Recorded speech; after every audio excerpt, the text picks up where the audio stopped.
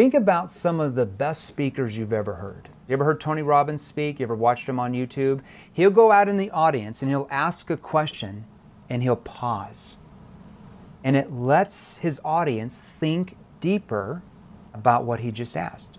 Politics aside, I don't get into politics, guys, but like if you look at communication styles, uh, like President Barack Obama was really good at verbal pausing. That's not something he was born with. I guarantee you he was trained how to do that by somebody very skilled at that, okay? So he would talk and he would say something and he would pause in between his words.